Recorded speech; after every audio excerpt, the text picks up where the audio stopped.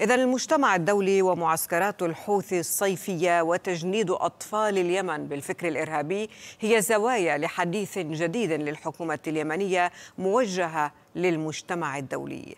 مؤخرا طالب رئيس مجلس القيادة الرئاسي رشاد العليم المجتمع الدولي طالبه بالانتقال من مرحلة الأقوال إلى مرحلة الأفعال والتصدي لميليشيات الحوثي في تجنيد الأطفال.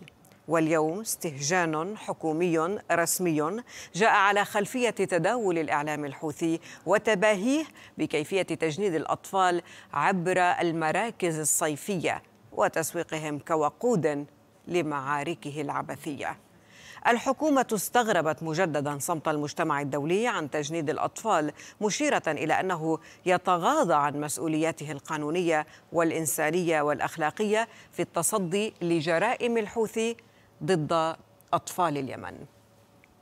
وتحدثت أيضا عن تفخيخ جيل يمني كاملا بأفكار الإرهاب والتطرف وأن الحوثي يتعامل معهم كمخزون بشري متطرف.